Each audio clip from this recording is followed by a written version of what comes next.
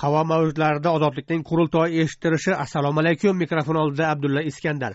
Bugungi eshittirishimizni o'zbekiston ma'murlari tungi klublarni ham masjidlarni ham butun sohani ma'naviyat ramkasiga solmoqchimi degan e, savolni ilgari suramiz o'sha savolni atrofida har xil javoblarni o'rganamiz. O'zbekistonda faoliyat yuritayotgan tungi klublar va raqs maydonchasi bo'lgan restoranlarga o'zbekiston ichki ishlar vazirligi jinoyatchilikni oldini olish va profilaktika boshqarmasi hamda respublika ma'naviyat markazi rahbarlari imzosi bilan maxsus yo'riqnoma jo'natilgan. Demak bu yo'riqnomaga ko'ra ko'ngil ochish joylarida tungi vaqtda yoshlar voyaga yetmaganlar bo'lmasligi kerak. Va voyaga yetmaganlar o'rtasida nazoratsizlik va huquq buzarliklarini oldini olish uqtirilgan shu bilan birga mijozlarga striptiz shahvoniy raqs ko'rsatishga taqiq bor va shest ya'ni striptiz paytida tirmashadigan yaltiroq quvur xoda ham taqiqlangan. Raqqosalar o'zbekistonda shakllangan ma'naviy qadriyatlarga zid liboslar kiymasin degan joyi ham bor. Ayni paytda e, bundan oldin samarqanddagi tungi klublarda ablava bo'lib o'tgan edi. Samarqand shahridagi alterego pataya javani shahriston va niagara tungi klublarida e, ichki ishlar boshqarmasi xodimlari tomonidan reydlar o'tkazilib to'rt yuz nafarga yaqin odam qo'lga olingan. Ulardan o'ttiz nafari fohisha va yigirma nafari ruxsatsiz ishlayotgan striptiz raqqosasi. Turli fikrlarni eshityapmiz. Ayni paytda internetdan qarasam toshkentdagi niagara tungi klubida e, bemalol shestlar bor ekan. Ikkita joyda shest ko'rindi. E, har holda bu eski video bo'lsa kerak.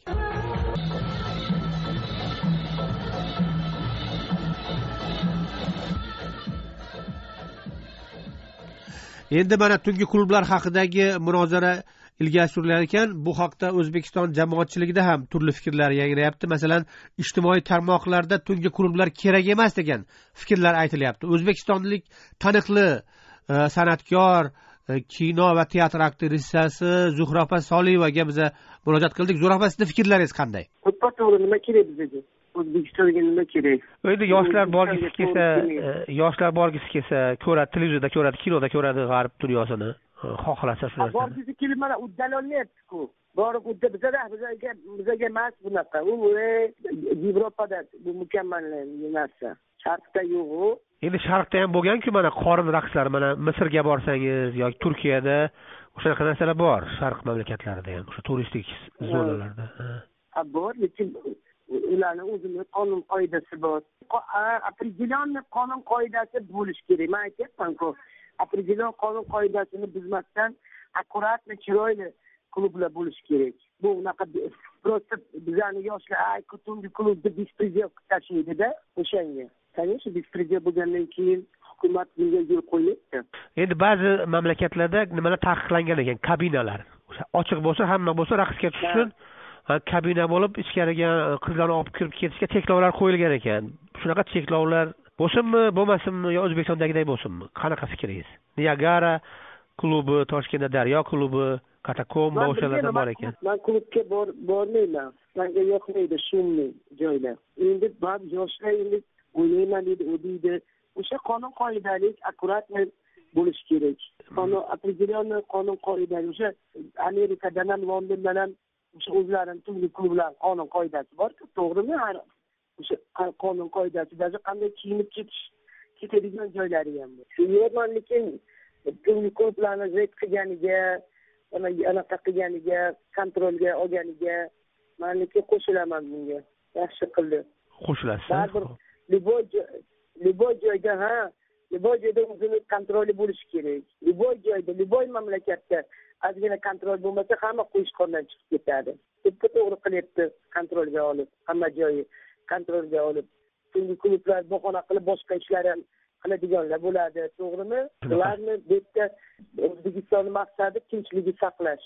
Mana kecha ko'rdim masjidda o'zini portlatibdi saudiya arabistonda. Hamma joyga kontrol kerak. Masjiddan tortib tungi klubgacha to'ppa to'g'ri qilishyapti mani fikrim shu. Zuhra soliyevani fikrlari edi endi eshittirishimizda mana shvetsiyadan inson huquqlari faoli dilobar erkizoda qatnashyapti. Dilobar sizni fikrlaringiz mana. O'zbek ma'murlarini barcha sohalarni masjidni ham tungi klublarni ham birday ma'naviyat ramkasiga solish istaklariga nima fikr bildirgan bo'lardingiz? Ha assalomu alaykum. Albatta har bir davlatda hozir mana zuhra aytib o'tganlaridek tungi klublarga borish o'zini qonun qoidalari bor. Har bir qonun qoida bu ishlash kerak. Agar bu qonun qoidani chiqarib qo'yib bu qonun qoidalarga bo'ysunmasdan endi biz hozirgi o'zbekiston holatini oladigan bo'lsak o'zbekiston holatida afsuski ko'proq aynan shu e, davlat xodimlari tomonidan ko'proq buziladi bu qonun qoidalar. Ya'ni ular bo'ysunmasdan e, bu qonun qoidalarni buzib kelishmoqda. Shuning uchun agar ikki taraflama shunaqa qaror qabul qilishdimi bularni nazoratga olish kerak. Tungi klublarni masjidlarni yoki umuman masjidlarni yoki e, boshqa diniy e'tiqodda e, hech qachon bu narsani nima deydi hozirgi o'zbekiston hukumati olib borayotgandek qilish kerak emas. Albatta man bunga umuman qarshiman lekin tungi klublarni mana hozirgi o'zbekiston holatini oladigan bo'lsak u yerga qanaqadir bir tegishli qonun nazorat o'rnatishi qonun qoida kiritishgan bo'lsa bu nafaqatgina shu tungi klublarga keladigan mijozlar tarafidan balki bu aynan shu tungi klublarni ishchilari undan yuqori e, turadigan odamlar ya'ni bu hokimiyatni o'zi o'sha shahar yoki o'sha rayonni ularni hammasi ham ushbu qonun qoidaga bo'ysunishi kerak. Dilobar siz toshkentda bor paytingizda borarmidingiz shunaqa tungi klublarga raqs maydonchalariga e, yo bormasmidingiz?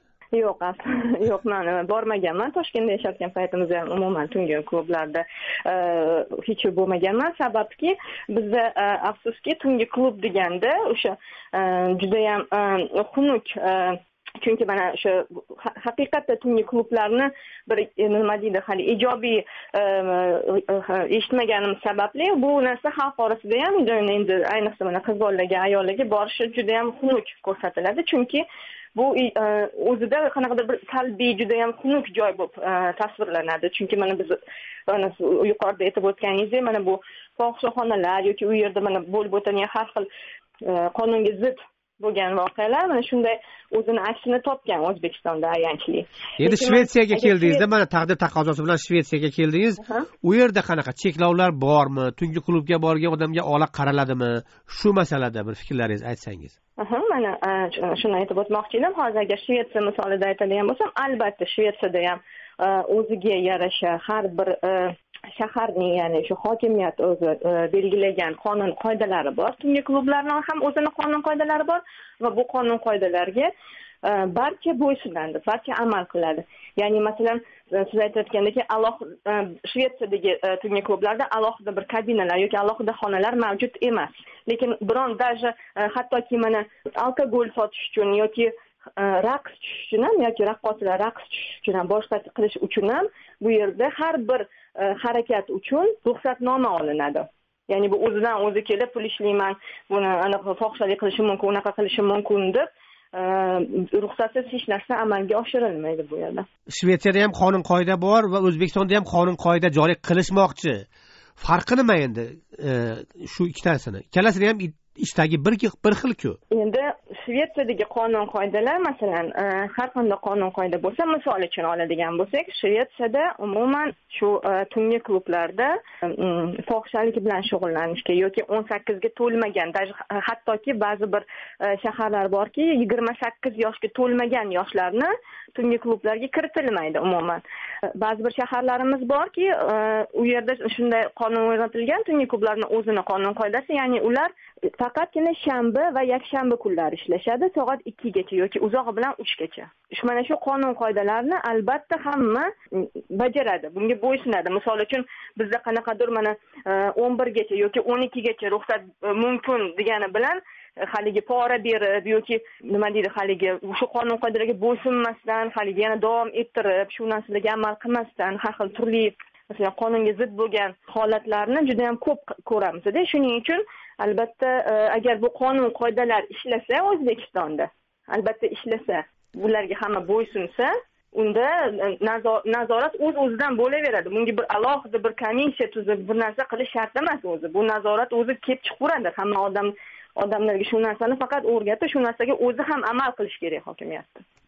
Endi mana zuhra soliyevadan so'rasak o'zbekistonlik taniqli ijodkor e, zuhra opa o'n sakkiz yoshga to'lganlar e, striptiz klublariga tungi klublarga kiritilar ekan. Man yaqinda gaplashdim eshittirishga kirishdan oldin bir nechta tungi klublarga telefon qilsam hozir bizga tartib qattiq bo'ldi o'n sakkiz yoshga kirganlarni kirityapmiz deydi.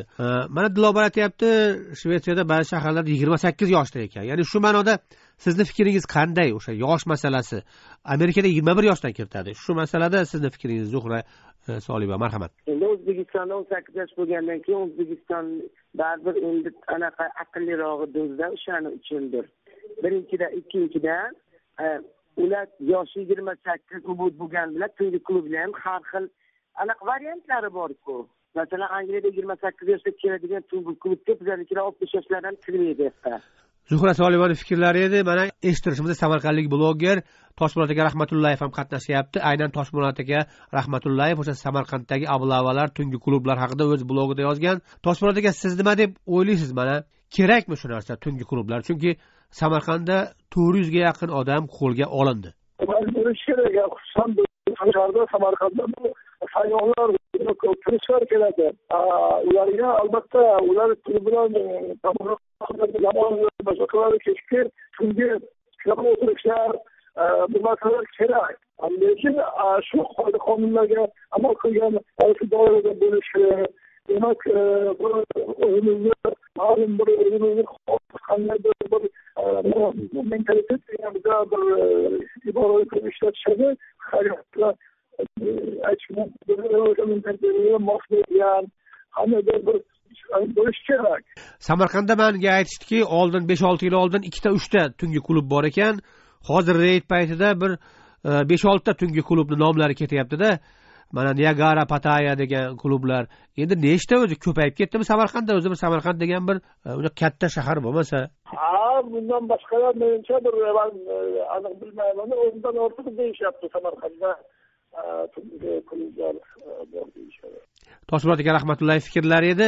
Man o'sha yana shvetsiya bilan bog'lanib dilobar erkizodaga murojaat qilmoqchi edim. Dilobar o'zbekistonda zarurmi? Mana sayyohlar uchun zarur deyapti yoki yoshlar uchun. Shu ma'noda bir fikringiz bormi sizni yoshlar vakili sifatida. Tungi klublar kerakmi? Albatta. Bu e, bu bir hordiq madaniy hordiq chiqarish uchun ko'pincha shunday e, tasvirlanishi kerak. Bu narsa ifoda etilishi kerak. Bu tungi klublar nafaqat e, bu xorijdan keladigan mehmonlar uchun balki shu o'zimizni o'zbekistonlik yoshlar uchun umuman bir insonlar uchun o'zbek xalqi uchun kerak deb o'ylayman. Chunki nazorat qilish boshqaku lekin bu narsani Э, qanaqa tushuntirsam bo'ladi? Nazorat ostida nazorat degan so'zni ostiga olib bu narsani judayam pastga press qilib e, pressing qilib bosishi keragi yo'q. Chunki qancha shu narsani ular uh, E, nazoratni kuchaytirib bu narsaga qarshilik qilsa yoshlar ham o'zbek xalqi umuman odamlar ham shuncha shu e, nima deydi ruxsat berilmagan man etilgan e, bu odamni o'zini anaqasida bu o'sha narsaga ko'proq intilaveradi. Boshqacha yo'llari boshqa nolegal yo'llari ko'payib boraveradi bu narsani. Shuning uchun bu narsani taqiqlash kerak emas deb o'ylayman. Demak taqiqlash kerak emas deb hisoblaysiz bilasizmi? Mana hozir ijtimoiy tarmoqlarda shunaqa gruppalar paydo bo'lgan.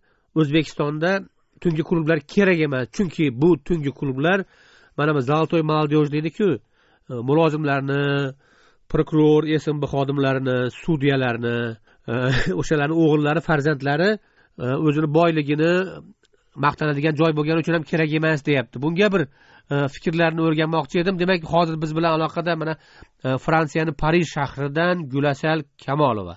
Gulasal e, jurnalist gulasal sizdan eshitmoqchi edim. Tungi klublar haqidagi fikringiz. Taqiqlash kerak degan fikrlar yangrayapti ijtimoiy tarmoqlarda. Keyin o'zbekistonda ma'naviyat ramkalariga solish kerak. Milliy striptizlar bo'lsin degan bir gaplar ham yangrayapti. Sizni fikringiz marhamat milliy striptizlar kulgili albatta shuhrat aka mana bu narsani endi aytishim qanday bo'larkan qancha qonunlar hamma narsa qabul qilinyapti qancha mana bu taqiqlar qo'yilyapti lekin bu taqiqlar doimgidaqa qog'ozda qoladi va agar mana shu tungi klublar bo'yicha taqiq ham qog'ozda qolsa man xursand bo'laman chunki bu erkinlik xohlagan odam boradi xohlamagan odam bormaydi bu birinchidan ikkinchidan toshkentni poytaxti aynan tungi klubini samarqandni tungi klubini oladigan bo'lsak u yerga oddiy odam bormaydi. Oddiy yoshlardan e, hech kim bormaydi u yerga. Chunki narxi qimmat. Kamida yuz ikki yuz dollar bilan kirish kerak u yerga. Yo'q besh ming besh ming so'm ekanku kirish. Man ko'rdim bugun besh ming so'm u narxichi u yog'ida? Ichimlik boshqasi bor yeb ichishi bor. Besh ming so'mlik klub man bilmayman qayerda hozir qolgan. Buxoroni o'zida besh ming so'mlik klub yo'qu samarqandda yetti dollar ekan kirish. Endi qarangda toshpo'lat aka rahmatullayev aytyapti samarqand sayyohlar shahri. Biz o'shalarni pulini olib qolishimiz uchun ham kerak. Ish o'rini bu. Lekin mahalliy aholi kirmasin degan ham gaplar aytilyapti. Mana egiptda misrda boshqa joylarda shunaqa ha? Qanaqa? G'alati cheklov bo'ladiyu. Birinchidan e, biznikilar kirmasin degan taqdirda ham biznikilarni hammasi kiravermaydi tushuntira olyapmanmi yo yo'qmi bilmayman. Hamma ham kirolmaydi u yerga. Ya'ni puli borlar kiradida shunaqada endi borlar kiradi albatta puli borlar kiradi u yerga. Oddiy odam kirolmaydi u yerga.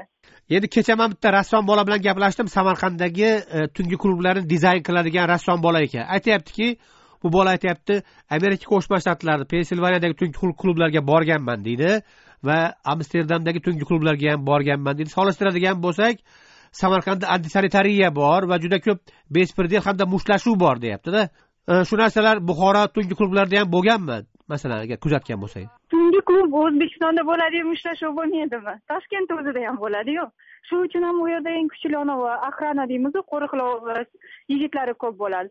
Shunday bo'lgan taqdirda ham qo'riqlash bo'ladimi boshqa bo'ladimi ichib olgandan keyin nimadandir janjal chiqadi. O'ynayotgan payti bir birini turtib yuborishadimi tamom sen meni turtib yubording bitta janjal chiqadi. Ura sur pichoqlashuvgacha bo'ladi. Navoiyda mana navoiyni samarqandni qo'yib turing. Mana navoiyni o'zida ham striptiz a, o'sha shesti bor edi. Striptizga tushadigan qizlar bor edi. Hozir endi bilmayman olti oy oldin ilgari bor edi aniq. Yo'q kechagi yo'riqnoma kelgan ularga shestlarni olib tashlashibdi. Bir ikkitasiga telefon qildik. Olib tashlashayotgan ekan shestlarni ya'ni shest degani temir xoda. Lekin e, bunday bo'lyaptida hozir shuhrat aka agar e, грубо qilib qo'pol qilib aytadigan bo'lsak o'sha hozir mana shu qarorni chiqarganlar o'zi o'tirgan cho'pni o'zi o'tirgan anaqani kesyapti. Chunki ularni o'zi o'sha yerga boradi. Absurd holat emasmi? Demak o'ziga o'zi cheklov qo'yyapti ular. Toshkentdagi klubga ham asosan kim boradi? Boyvachcha yoki shunaqa amaldorlarni bolalari boradi yo amaldorni o'zi boradi yoki diplomatlar boradi? Endi nima qilaylik taqiqlaylikmi o'shani?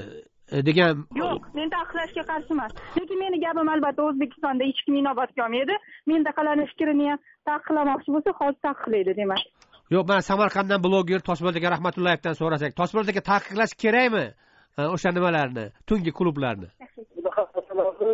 Taqiqlash yo'li bilan hech narsaga erishib bo'lmaydi. Shuning uchun o'sha e, barcha qonun qoida doirasida ular ishlashi kerak shahvoniy odamlarni e, ayniqsa yoshlarni buzadigan e, noto'g'ri yo'lga boshlaydigan har xil e, raqslar boshqa hatto ochiq mazmundagi qo'shiqlar emasmi? Bu o'sha o'zimizning ma'naviy bir ma'naviy jihatdan to'g'ri bir to'g'ri yo'naltirilgan mentalitimizga to'g'ri keladigan darajada bo'lishi kerak. Chunki bu albatta mana qanday bo'lmasa qaysi mamlakatlar bo'lmasin mana islomiy mamlakatlarda ham sayyohlar uchun umuman boshqa e, sharoitlar hamma sharoitlar yaratib berilgan xuddi shunday bizda ham bu bo'lishi kerak. Lekin bu bu haqda boshqa e, odamlarning fikri bilan tanishdim. Ayniqsa yo- kattalar qirq atrofida undan yuqoridagilar deyarli bormaydi. Bitta yarimta o'sha borganlar ham e, puli bor juda bir bemalol pul topadigan chunki kirishning o'zi u yerda pul hech kim masalan pul berib kirib bunaqa joylarga maosh orqasida ishlaydiganlar o'ziga o'zining borish u yerda og'ir masala. Shuning uchun ham demak yana bir marta aytaman qanaqa emas balki o'sha har tomonlama qonun doirasida ishlaydigan va ikkinchi tomondan nafaqat o'sha yoshlar orasida balki otalar onalar bilan ham doimo vaqtda haqida gapirib o'sha vaqtda ayniqsa onalar televizorni ko'p ko'radi. Televizorda o'shalarda faoliyatni ko'rsatib hali qizlaring soat e, o'ndan keyin o'n birdan keyin qayerda edi e, bir nazorat qilasizlarmi yo'qmi degan narsalarni fikrlarni targ'ib qilish masalasi ham turibdi jamiyatda toshmurod aka ayni paytda mana juda ko'p e, ijtimoiy tarmoqlardagilar aytyaptiki o'zbek ayollarini mana shu tungi klublarda xodaga ishqalanib raqsga tushishi ma'naviyatimizga to'g'ri kelmaydi deyapti. Ayni paytda e, o'sha xodalar ya'ni shestlar olib tashlayapti tungi klublardan bu narsa bilan vaziyat o'zgaradimi? Ya'ni o'zbek ayolini o'sha xodaga tirmashishiga e, yomon munosabatda bo'lyaptida toshpo'lat aka. Xoda unaqa xodalar e, barcha chet elda kinolarda ko'ramiz tungi klublarda bor. Bular o'shanga qilib bunaqa qo'yib shu orqasidan pul ishlaydi fikrlar yoshlarda yoshlarni fikrlarini buzib demak hayot bilan bir hayot tarzini miyasiga o'rnashib qolmasligi uchun bunaqa behayolik shahmalarga qarshi albatta qonuniy yo'l bilan kurash olib borish kerak deb o'ylayman yo endi hozir agar pul beradigan bo'lsa temirga ham boshqalar ham ish qilaveradi farqi nima boshqa boshqa millatni hozirgi vaqtlarda eshityapmiz o'qiyapmiz. Chet elda borib ondan sonra shu yerni o'zida qo'yaveradi kerak shuning uchun bularda o'sha gapda bu o'sha ta'lim tarbiya mablag' ish juda ko'p tomonlama borda fohishalik qilib odamni nima demak bu toshbot aka rahmatullayevni fikrlari edi gulasal yaxshi eshitilgan bo'lsa sizga tosbot aka rahmatullayev ham zuhra opa soliyeva ham ma'naviyat haqida gapirdi. O'sha bu ma'naviyatimizga zid ma'naviyatimizga mos keladigan mentalitetimizga mos keladigan E, klublar u yerda shahvoniyat bo'lmasin ya'ni e, degan gap aytdi. Ya'ni bu narsani olib tashlasak tungi klublarda nima qoladi u yerda? Kulgili albatta. E, bitta narsani aytmoqchimanda hozir shu savolingizga javob berishdan oldin. O'zi bizni jamiyatimiz g'alatida от крайности до крайности deymizu. Unisidan bunisiga ko'chamiz. Boshida mustaqillik davrida din erkinligini berdi kimdir namoz o'qib masjidlarga boradigan bo'ldi yoshlar. Keyinchalik o'zbekiston buni to'xtatmoqchi bo'ldi. Tungi klublar qildi mana andijon misolida ikki ming beshinchi yildan keyin hamma joyda aroq quyib berish boshlandi. Ya'ni bizada nima desam unisini yo'q qilaman deydi bunisini yo'q qilaman deydi. Odam oraliqda qololmaydiyu. Yaxshi ma'naviyatimizga to'g'ri kelmasa yoshlarga ruxsat beraylik namoz o'qishga. Borsin nimaga biz hammasini ularni taqibga olamiz yo'q nazorat bo'lsa masalan nazorat bo'lsa kimdir masjidga bomba olib kirmasa yoki tungi klubga bomba olib kirmasa bu narsa e, nazorat qilinsa yaxshi emasmi?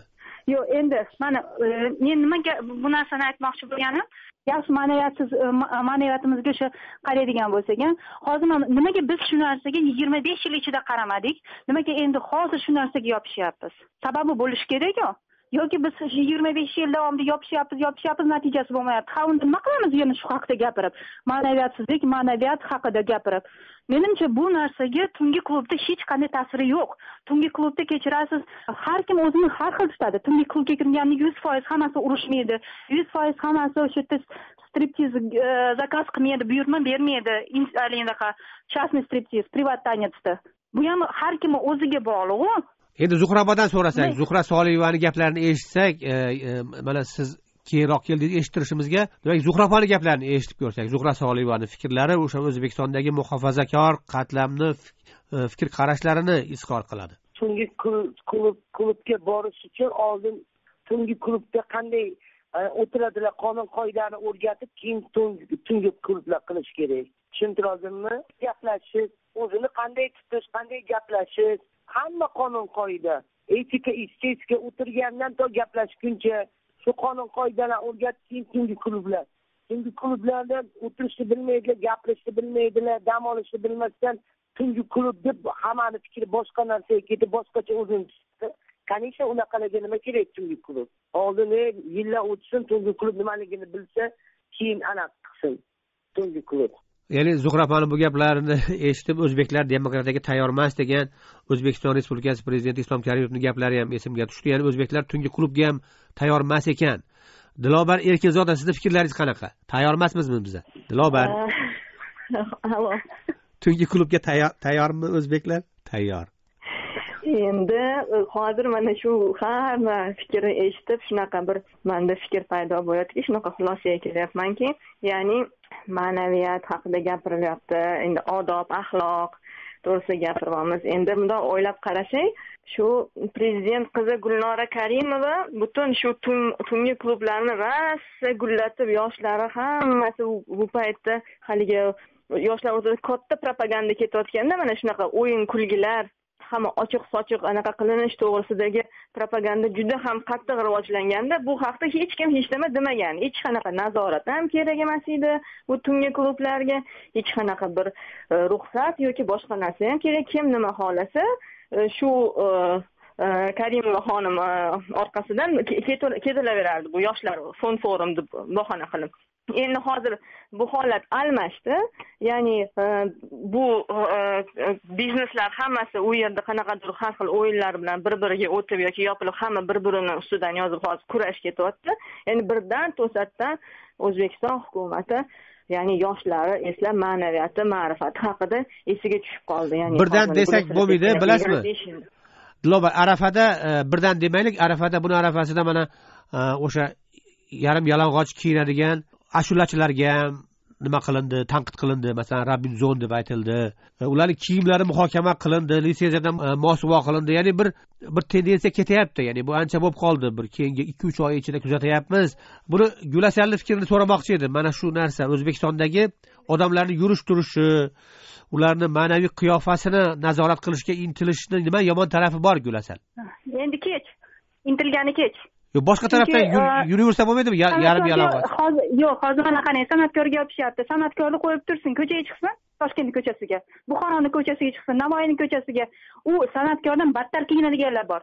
Oddiy to'ylarga borsin to'yda qudalarni kiyimini ko'rsin. Nimaga faqat san'atkorga yopishadi bular men tushunmaymanda to'g'risi. San'atkor aktrisa.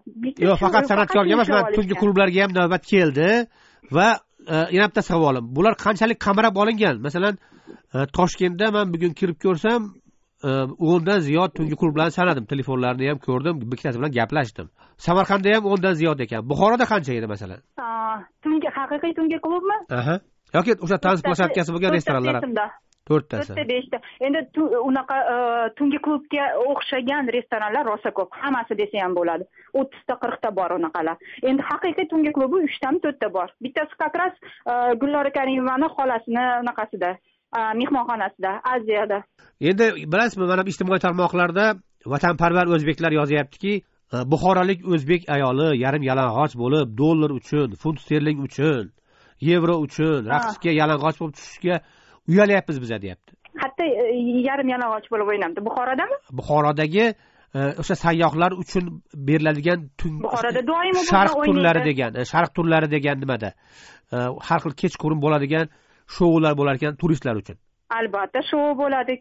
Kim undan uyaladi? Birinchidan u ular o'ynaydigan shoularda o'ynaydigan qizlar hammasi litsenziya olgan. Ya'ni o'zbek navoni o'zi litsenziya bergan. Ho'p ho'p ya'ni ularni man samarqandda o'ttiztasini ushlab ketib qoldi. O'sha o'ttiztasi litsenziyasi yo'q ekan masalan. Litsenziyasi. Va ayni paytda aytilyaptiki litsenziyasi borlarini ham raqsi deydi o'sha quyushqondan chiqib ketgan deyarli yalang'och o'zbek ayolga yarashmaydi bu narsa degan vatanparvarlik fikrlar aytilyapti. Nima dey endi men bunga? Nima deysiz endi? Men doimgidaqa munosabatim. Men bilasiz men liberal odamman. U raqqosa birinchidan u fohisha emas u likillatib u pul olmaydi pul olmaydi ular. Birinchidan ular turistlar уже pul to'lab bo'lgan bo'ladi. O'sha e, ularni ужиниga hisobiga kiradi. Kechki ovqati raqsi boshqasi. Bu bir. Ikkinchidan buxoroda bunaqa lipillab o'ynash doim bo'lgan va buni mana buxorodagi o'zbek navoiy ham televideniyasi ham yo'q qilmoqchi lekin yo'q qilgani bilan buxoroni to'yini fayzi shu bilan buni tushungan tushunadi tushunmagan albatta gapiraveradi dilobardan eshitsak dilobar endi toshkentdan farg'ona vodiysidan ham odam ko'rsak bo'lar topsak bo'lardi bugun eshittirishimizda. Endi dilobar sizni fikrlaringiz mana shu narsaga. Vatanparvarlarni fikriga qo'shilasizmi e, ijtimoiy tarmoqlarda? O'zbek ayollarini bunaqa qiyofada raqsga tushishidan uyalyapmiz deyapti erkaklar. Endi agar shunaqa raqsga tushayotgandan uyaladigan bo'lsa bormasin u klublarga? Bu ko'chada yurgan ko'chada ochiqchasiga fohishalik bilan shug'ullanayotgan ayollardan uyalishmasmikan shu vatanparvarlar? Yoki mana mana bu mardikorchilik qilib yurgan ayollardan oilasini boqaman deb mana kechagina ozodning lavhasini ko'rdik. Uchta e, bolasi bilan ko'chada qolgan ayollar. Shularni hayoti bilan shularni shunchalik darajada xor bo'lib yashayotgandan o'zbek ayollarini uyalishmasmikin bu vatanparvarlar? Mana shu yerda eshittirishimizga yakun yasasak demak e, gulasal aytadigan gaplaringiz bormi? Xulosaviy. Chunki bu yerda faqat tungi klublar haqida emas gap. Hamma sohalarda masjidda ham maktabda ham litseyda ham hamma yoqda qanaqadir bir quyushqon ramkaga solish harakatlari bor o'zbekistonda. Bu narsani oqibati nima gulasal? Ramka solish bo'lgani bilan mana shu tungi klubni yopadimi boshqasini qiladimi? Bu hamma narsa do- doim bo'ladi baribir.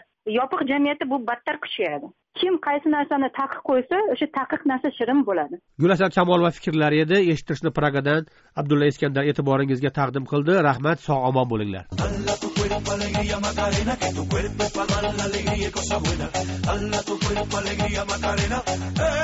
Macarena, Macarena, eh Macarena, eh Macarena, Macarena, Macarena.